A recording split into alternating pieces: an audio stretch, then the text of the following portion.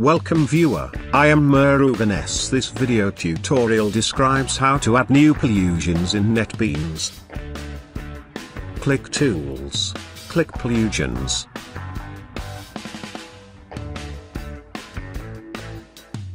Click Downloaded.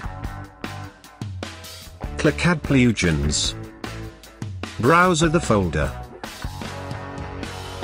Plugins download location is given in description.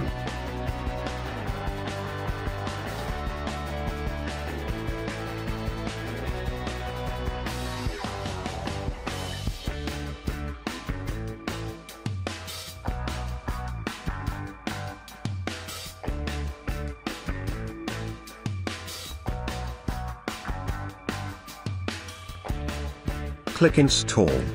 Click Next. Select Accept License Agreements, click Install.